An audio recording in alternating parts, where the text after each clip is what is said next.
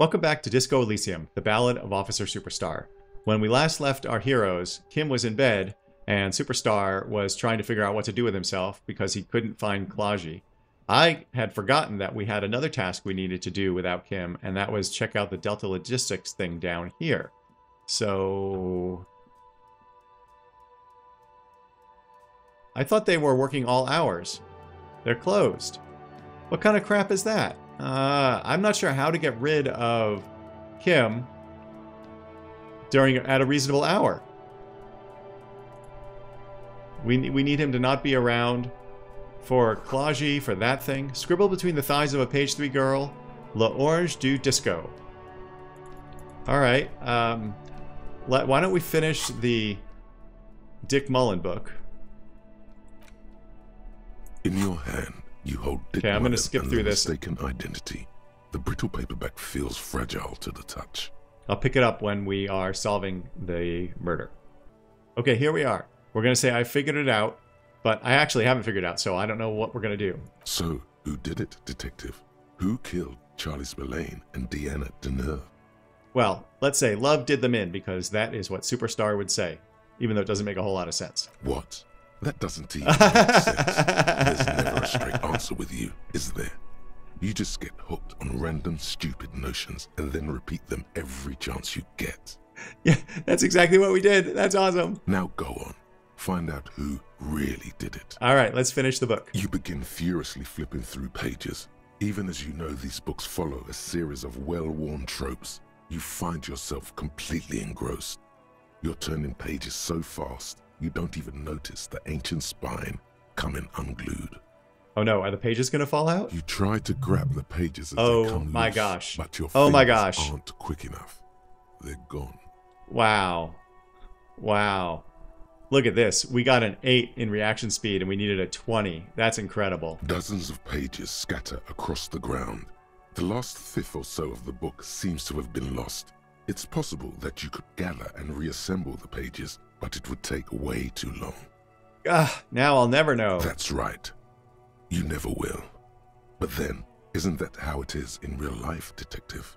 I guess so, but we're hoping that we will be able to figure it out. Last year, more than 71% of murders in Revachol went unsolved.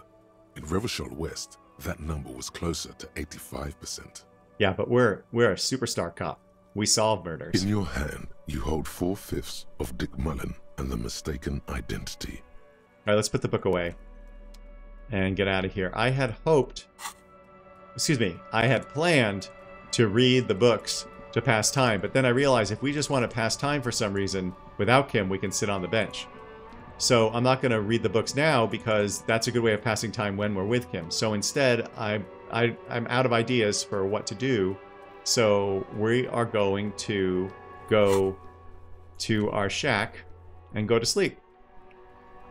And in the morning, we will have a new plan, I guess. It's getting late and it's snowing. Time to call it a day. Yes, let's call it a day. Okay, let's get in bed. Oh, wait. What happens if we look in the mirror? An old mirror hangs on the wall. Oh. You see your reflection in it. Ooh. The expression fixed to your clean-shaven face. You're still not accustomed to it. Wow. Okay, we can uh, we can attempt to stop the expression from happening, and we now have an 83% chance. Plus one because we shaved. And we recited the poem. Oh, we are kicking butt here. Let's go for it. It's like something Yay. snaps in you. A nerve ending. A thought. A sadness. Your face in the mirror is suddenly clean of the layer that had distorted it for God knows how long. Wow. That that was one of the first tasks we had. That's so cool. Just like that, it's over. The running gag that your life had become. A sad old man looks back at you. Oh. That's not so uplifting. I expected it to be positive. All right, let's let the mirror be for now. Well, that was that was kind of depressing. What happens if we look in the mirror again? An old mirror hangs on the wall. You see the reflection of your face in it, such as it is. A regular, clean shaven police officer. Oh, look, we no longer have the grimace either. So not only did we shave off all that hair, but we no longer have the grimace in our profile photo. That was uh, anticlimactic. All right, let's go to sleep. The bed is comforting, if a bit run down. Still, you've earned a rest. All right, let's go to sleep. The place feels almost like home now, quiet and dignified around you. A new life by the seaside. You're incredibly tired. The darkness and warmth come fast. You're falling asleep. It's easier this time. Drifting off, your head has found a comfortable indent in the pillow. Your legs and your torso feel like lead weights sinking to the bottom of the sea until they're suddenly light.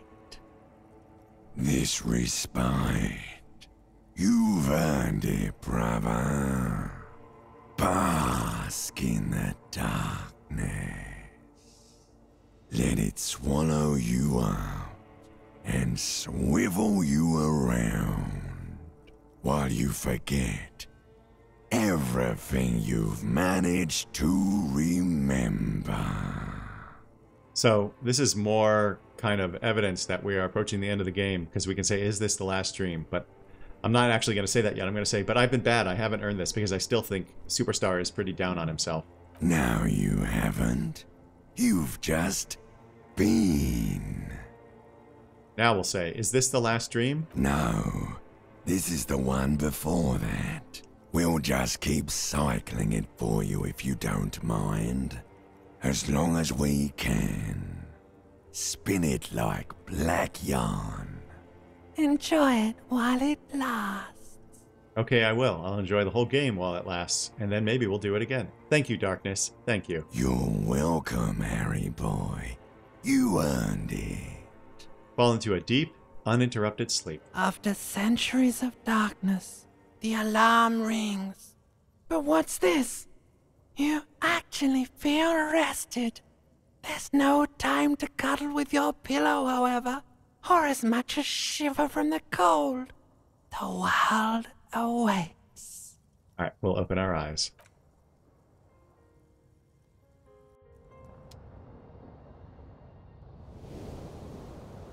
Oh, wow. Three morale healing. Amazing. We still look pretty shitty getting up.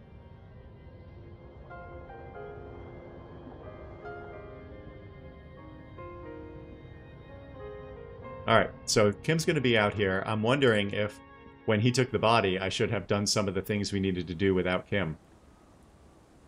But, too late now if that's the case. Good morning, Kim. How are you, sir? Let's go over to the Feld R&D building. And we are going to... Oops. We're going to look at the mural. And hopefully track down Ruby.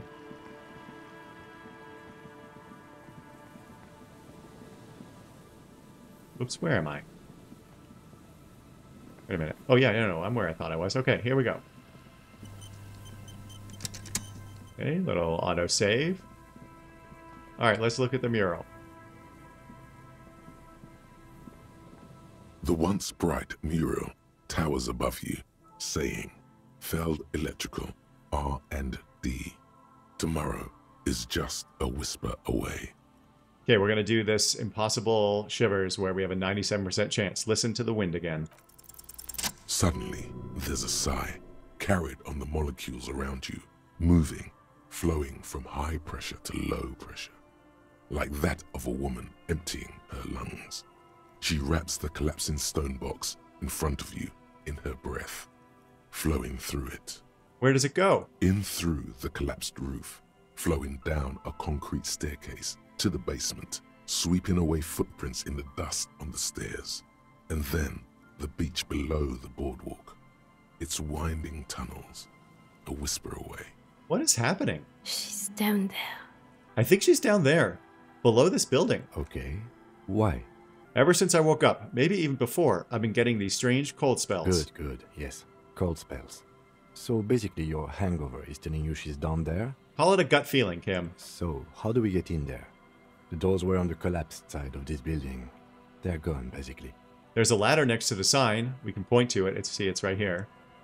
Perhaps we can climb it, enter through the roof? Perhaps you can climb them. We are not climbing anything. I'm 43 years old, and I plan to live to see 70. Ah, Kim, we're like a decade older than you. Shoot, I hope we don't fall climbing this thing.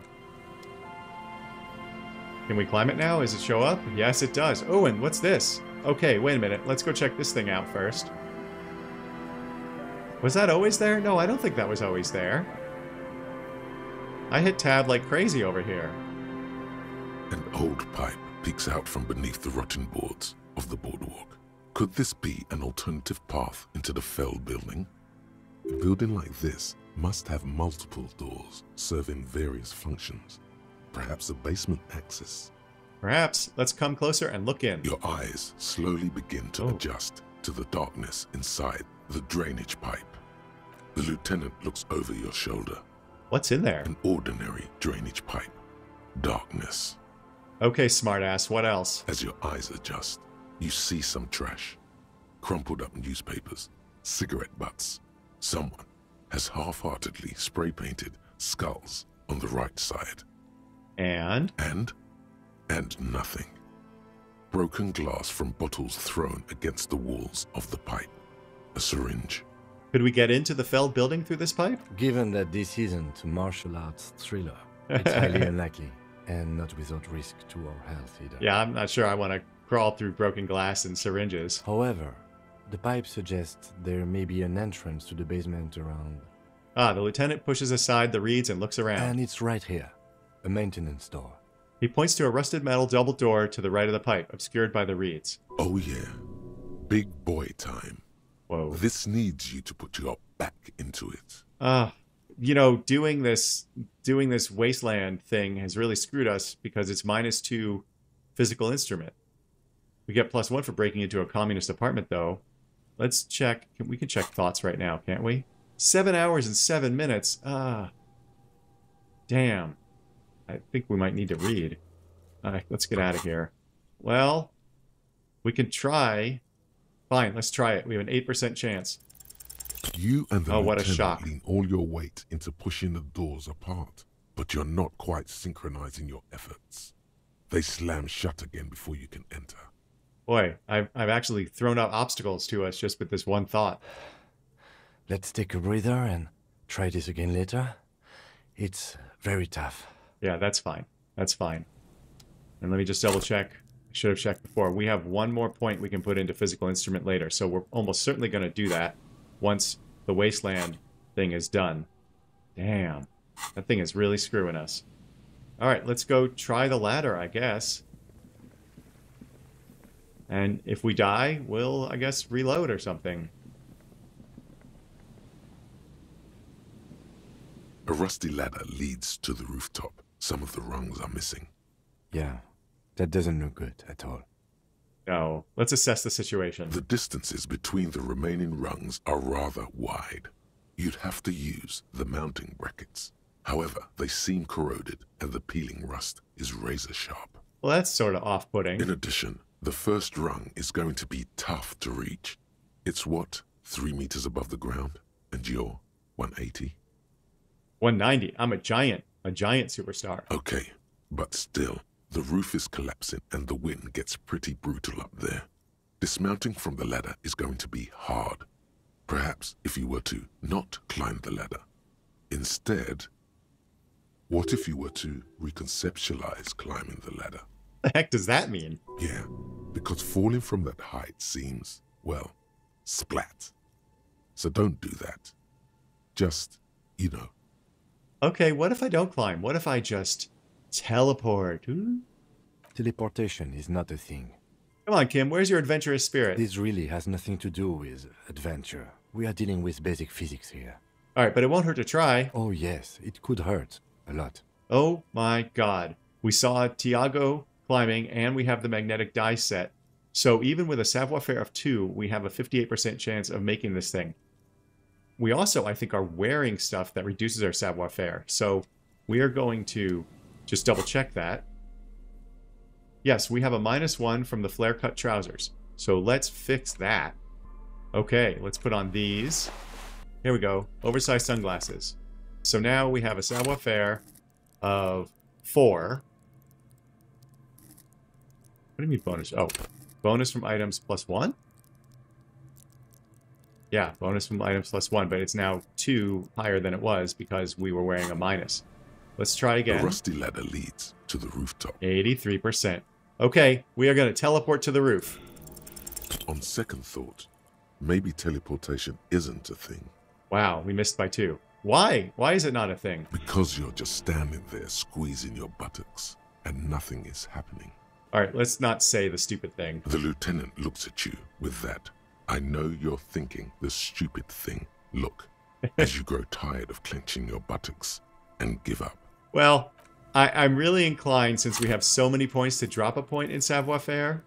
But we have...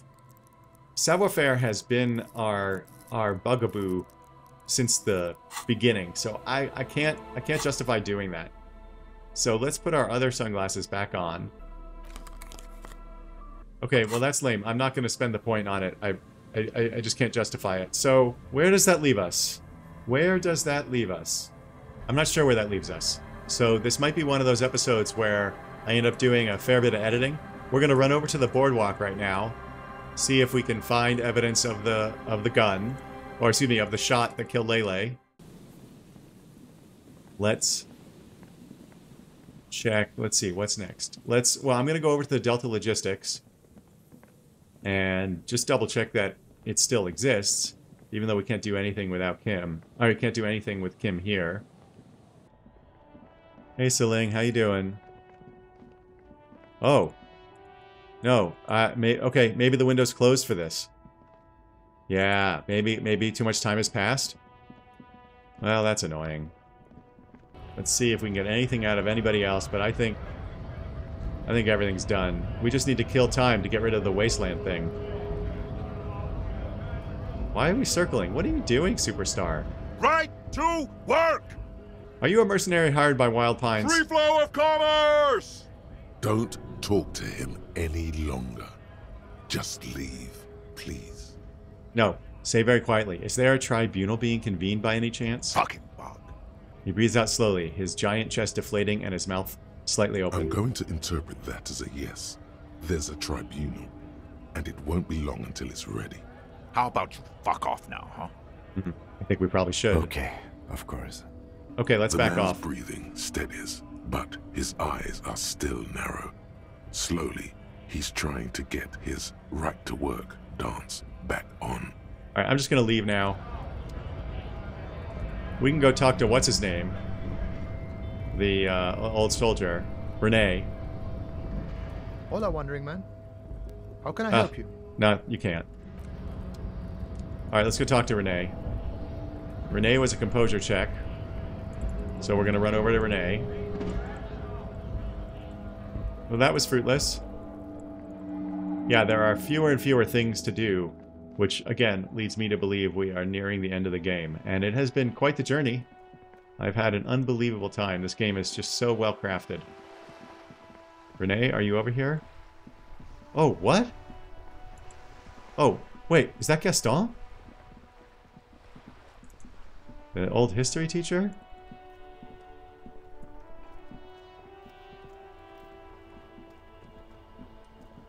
Oh, Officer, care to play a game with the lonely old man?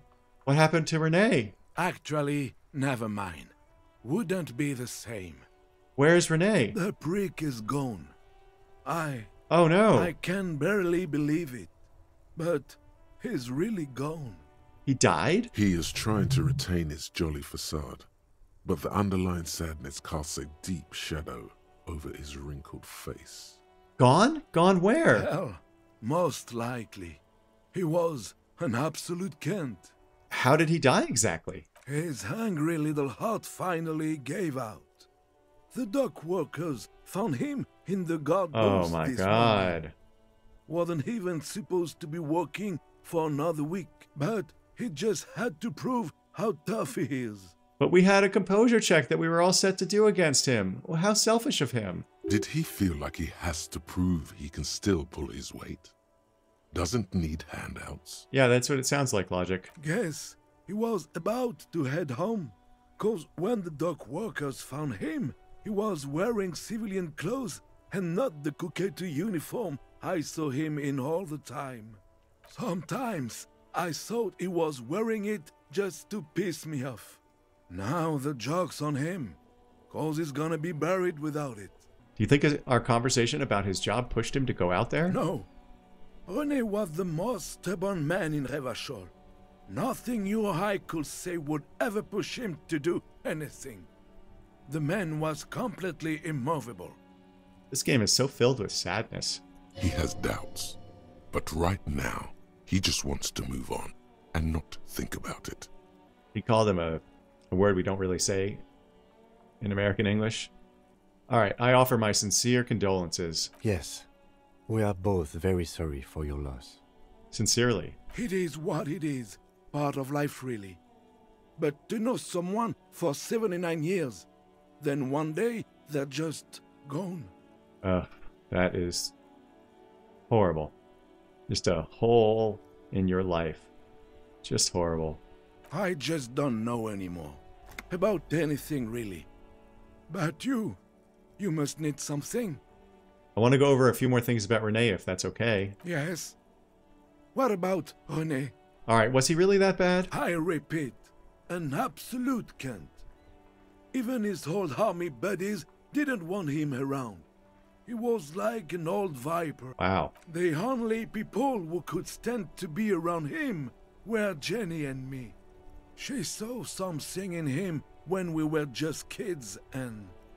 Uh, and she never lost sight of it.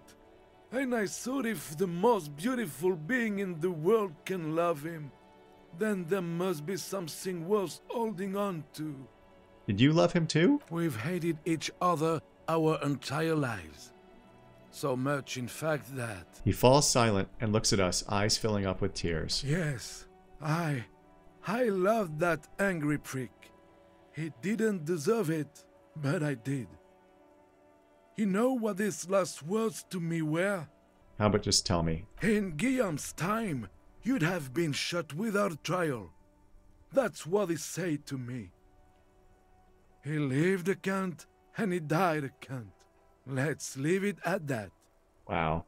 Gaston, here's something to remember your friends by, and we're going to give him the photograph of Rene and the girl. Let me see. This was 60 years ago. We all went to that parade. Young Rene looks so happy, and Jenny. Eyes blurry with tears, he has to stop. I'm sorry, officer. I just. Thank you. Thank you for this little memorabilia. It really means the world to me. That was nice. A small thing for us, but invaluable to him. He probably didn't even know Rene had the photo. I offer my sincerest condolences, Gaston. Yes, we are both very sorry for your loss. It is what it is, part of life, really. But to know someone for I just don't know anymore. About anything, really. But you, you must need something. No, we don't need anything, Gaston. Bye for now. Take care. Well, it's 8 in the morning. There's uh, virtually nothing left for us to do, so I'm going to run over to Evrart. See what he has to say. Oh, you know what? I think there's some stuff we can buy at the bookstore. We could do that. Let's do that after we talk to Evrart. Oh, you know what? Let's check the booth. Is there anything in the booth? I thought. This is the Night Watchman's booth. The name on the door reads Rene Arnaud. Rene left his uniform neatly folded on the table. Let's take it. Maybe we can give it to Gaston as well. I suppose Rene is not going to be needing it anymore. It's a bit too colorful for my taste, though. What is Superstar gonna do? You know what? He's gonna play it down. Okay, Superstar is gonna play it down. I'm done here. Fantastic. Try not to wear it with other similarly colorful clothes, okay? Okay, Kim.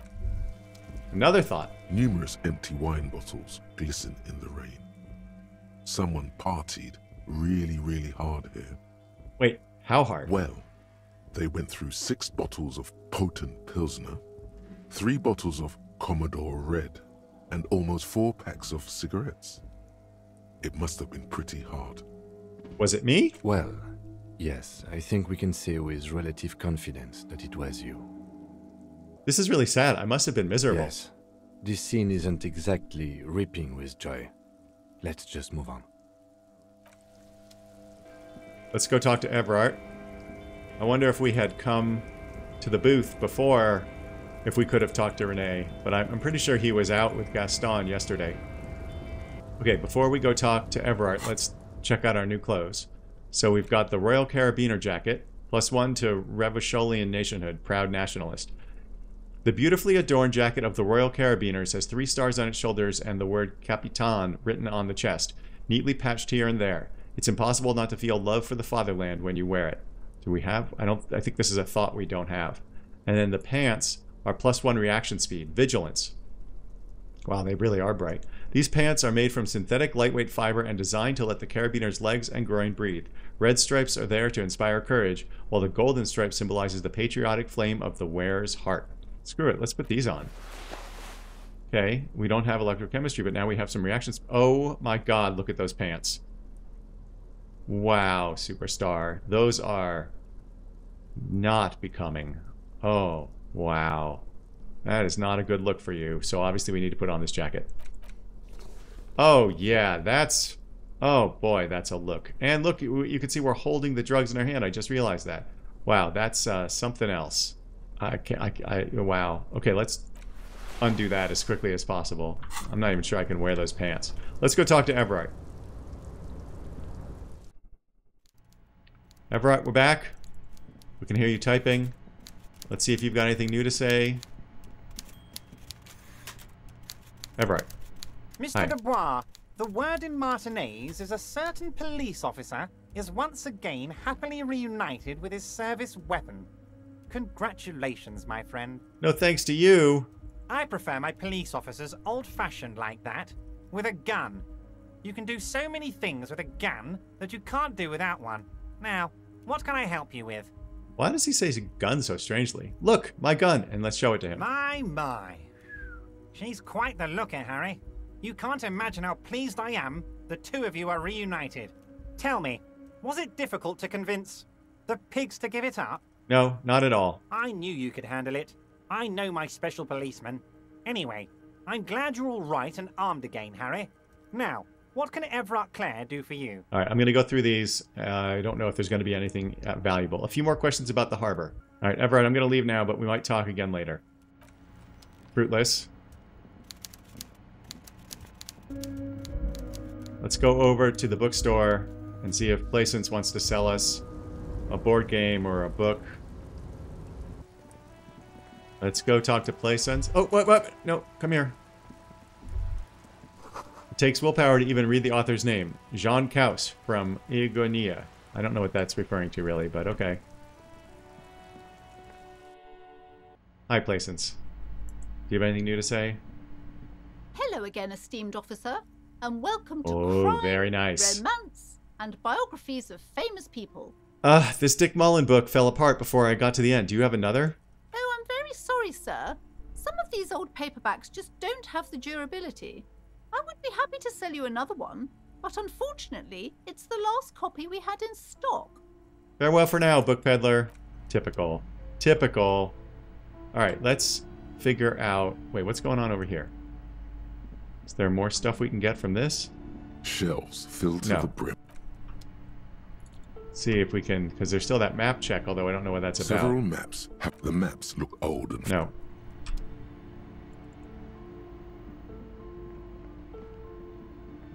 Alright, book peddler. Let's see what else you have for sale. What's over here in the Hjelmdall books?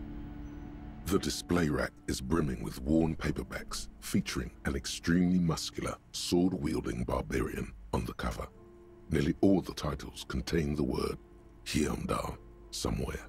Okay, before we buy these two books, which I think we're going to do, I believe there's a board game over here. A small mountain Oh. of colorful board game boxes. There are numerous types of games for all ages.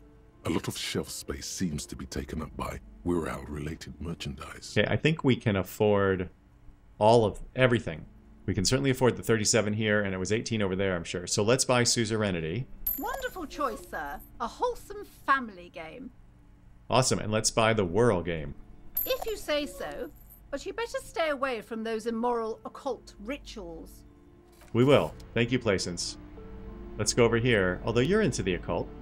The display rack is brimming with worn paperbacks featuring an extremely muscular, sword wielding barbarian on the cover. Nearly all the titles contain the word Hjelmdall somewhere. That's right, we're pretty much blowing our entire wad on all the stuff in Plaisance's store. I want to buy him Dollar Man Oh, yes, certainly. Another good sale. and Man from Hjelmdall and the Devil Woman. It is a bestseller for a reason. Okay, well, so we cleaned her out, which is awesome. Let's see if she says anything about that, like, thanks so much for paying my rent. Hello again, esteemed officer, and welcome to Crime, Romance, and Biographies of Famous People. Okay, farewell for now, Plaisance. We're going to go here. And that's actually where we're going to leave it for today. Next episode, we will do what sounds extremely exciting to you and I, I'm sure. And that is read a bunch of books to pass the time because we need to kill 6 hours and 43 minutes. So thank you very much for your viewership and support. I love you very much. Please remember to have your pets spayed or neutered.